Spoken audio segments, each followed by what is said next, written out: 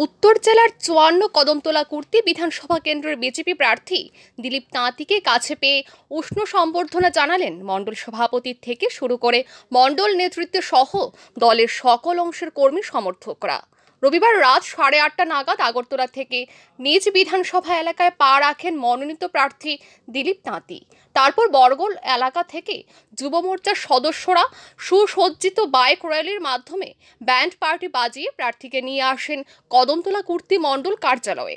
সেখানে মণ্ডল সভাপতি রাজা ধর, উত্তর জেলার জেলা পরিষদের সহকারী সভাধিপতি বিশ্বজিৎ ঘোষ, কদমতলা পঞ্চায়েত সমিতির চেয়ারম্যান সুব্রত দেব সহ মণ্ডল নেতৃত্ব ও সংগঠনের পদাধিকারীরা প্রার্থীকে ফুলের মালা ও উত্তরীয় পরিয়ে সম্বর্ধনা জানান।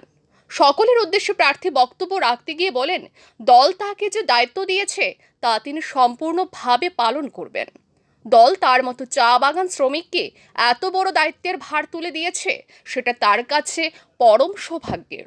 তাই সকলের সহযোগিতা কামনা করেন তিনি। তিনি বলেন, কদমতলা কুর্তি কেন্দ্রের প্রার্থী তিনি নন, এই কেন্দ্রের প্রার্থী বিজেপি দলের সকল কর্মকর্তা। তিনি শুধু নাম মাত্র। তিনি বলেন, এই কেন্দ্রে তার জয় নিশ্চিত। সিপিআইএম যা যা করতে পারেননি, তা তিনি করে দেখাবেন। এমনকি কেন্দ্রে তার প্রতিদ্বন্দ্বিতায় কেউ নেই বলেও দাবি করেন তিনি। রাজ্যের সাথে তাল মিলিয়ে আমাদের এই কদমতলা কুর্তিকে কলঙ্ক মুক্ত করার সুযোগ আমরা পেয়েছি। তো এটা দিলীপ দাদি নয়, এটা সম্পূর্ণ কার্যকর্তার জয় এবং সম্পূর্ণ কদমতলার জয়। আমাকে প্রার্থী দিয়েছে, দায়িত্ব দিয়েছে।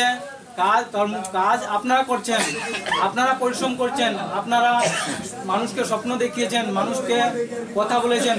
কে কীভাবে কথা বলেছেন আমার জানা নেই। যাতে সবে স্বপ্ন সাকার হয়, আর আপনাদের যাতে ইতিহাস রচনা হয় এই কদমতলা কদমতলা কেন্দ্রে। এই জন্য আমি এতটুকুই বলব, সবার আশীর্বাদ এবং